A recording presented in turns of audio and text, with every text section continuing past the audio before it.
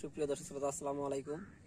তো আমরা আবার চলে আসছি সেই বৃহত্তর ময়মনসিংহ বিভাগ, শেরপুর জেলা, সেই নকলা থানা পার্শ্ববর্তী গ্রাম, যেখানে আপনার বিশেষ রকম কিছু গাছ নিয়ে কথা বলা হয় বা সেখানে আপনার গাছের কিছু বীজ সম্পর্কে বা গাছের ভালো কিছু জাত সম্পর্কে যেখানে বিশেষ রকমভাবে কিছু কথা বলা হয়।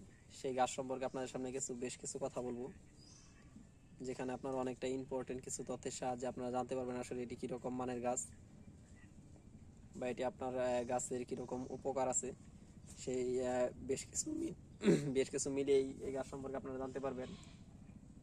তো এটি আপনার সাধারণত ভিয়েতনামে বেশি দেখা যায়।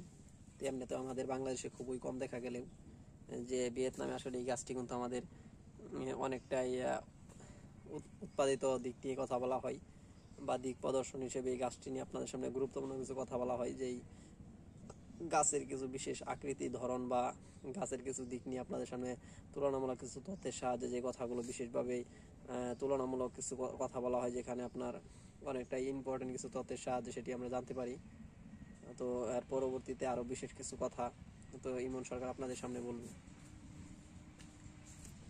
সুপ্রিয় দর্শক, আসসালামু আলাইকুম। আশা করি সকলে ভালো আছেন। আল্লাহ অশেষ রহমতে আমরা অনেক ভালো আছি। পিছনে আমার যে গাছটি আছে কিন্তু বর্তমানে মেহগনি গাছ নামে কিন্তু পরিচিত আর এই গাছে কিন্তু বর্তমানে ভালো চাহিদা রয়েছে, দামও রয়েছে, আমার মানও রয়েছে। এই গাছটি কিন্তু বর্তমানে কিন্তু আপনাদের প্রায় কিন্তু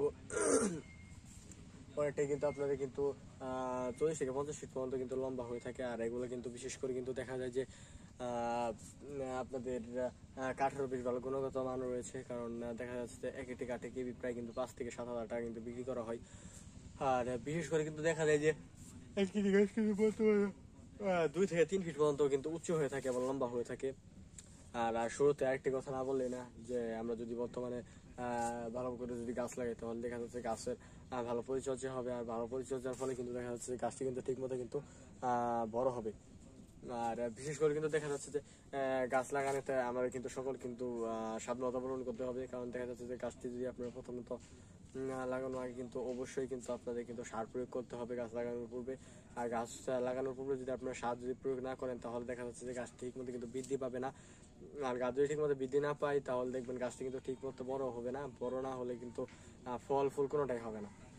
আর বিশেষ করে কিন্তু দেখা যাচ্ছে যে আমাদের এই বাগানে কিন্তু প্রায় কিন্তু চার হাজার প্রজাতিরও অধিক গাছ কিন্তু বর্তমানে রয়েছে এই বাগানে। আর এই বাগানে কিন্তু অত্যাধিক পরিমাণ গাছ থাকার কারণে কিন্তু দেখা যাচ্ছে যে সকল ধরনের কিন্তু ফল এবং ফুল কিন্তু এই বাগান থেকে সংগ্রহ করা হয়। আর বিশেষ করে কিন্তু দেখা যাচ্ছে যে একটি গাছ কিন্তু বর্তমানে কিন্তু অত্যাধিক পরিমাণ কিন্তু বড় হয় বা অত্যাধিক পরিমাণ কিন্তু লম্বা হয়ে থাকে। আর বিশেষ করে কিন্তু দেখা যাচ্ছে যে, গাছ যদি গাছ লাগানোর পূর্বে অবশ্যই কিন্তু আমাদের সাবধানতা অবলম্বন করতে হবে, কারণ যদি আপনার যদি গাছটি যদি ঠিক মতো রোপণ না রোপণের যদি যদি না বুঝেন, তাহলে কিন্তু দেখা যাচ্ছে গাছটি কিন্তু বৃদ্ধিও পাবে না। আর বিশেষ করে কিন্তু গাছ কিন্তু গাছ কিন্তু অবশ্যই গাছের পরিচর্যা করতে হবে, কারণ গাছের পরিচর্যা যদি না করেন, তাহলে গাছটি কিন্তু ঠিক মতো বৃদ্ধি পাবে না, বৃদ্ধি, আর গাছ যদি বৃদ্ধি না পায়, তাহলে গাছে কোনো কিছু কাঠ কাঠ ফল মূল কিছু হবে না। আর এগুলো গাছ কিন্তু বর্তমানে ভিয়েতনামে কিন্তু একটু বেশি পাওয়া যায়। কারণ দেখা আপনারা সকলে জেনে থাকবেন যে ভিয়েতনামে কিন্তু ভালো ভালো প্রজাতির গাছ ফল গাছ, ফুল গাছ ইত্যাদি গাছ কিন্তু বর্তমানে কিন্তু থাকে বা ইত্যাদি গাছ কিন্তু পাওয়া যায়।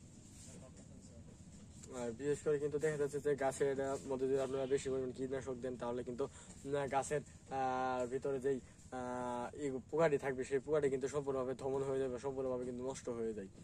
আর বিশেষ করে কিন্তু আপনারা দেখতে পাবেন যে এক একটি গাছে কিন্তু অত্যাধিক পরিমাণ কিন্তু ফুল এবং কি ফল থাকার কারণে কিন্তু গাছটি কিন্তু রোপণ এবং কি গাছটি কিন্তু ঠিকমতো কিন্তু বৃদ্ধি এবং কি যত্ন কিন্তু ভালো করে করতে হবে। আর গাছের যত্ন কিন্তু সকলে অবশ্যই যদি না নেন তাহলে কিন্তু গাছটি ঠিকমতো বৃদ্ধি এবং রোপণও কিন্তু হবে না।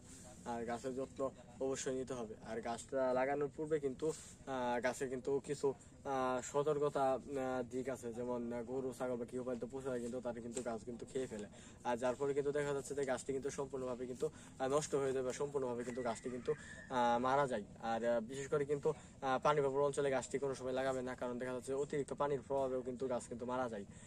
কারণ দেখা যাচ্ছে যে আবার অতিরিক্ত বৃষ্টিপাত না হলে, যেমন খরা প্রবল অঞ্চল হওয়ার কারণে কিন্তু গাছ কিন্তু মারা যায়। কারণ দেখা, এরকম অঞ্চলে আপনারা গাছ লাগাবেন যে অঞ্চলে কিন্তু ভালো পুষ্টি উপাদান দিয়ে থাকে। তো সুপ্রিয় দর্শক, আজকের ভিডিও এই পর্যন্ত সকালে ভালো থাকবেন, সুস্থ থাকবেন। আল্লাহ হাফেজ।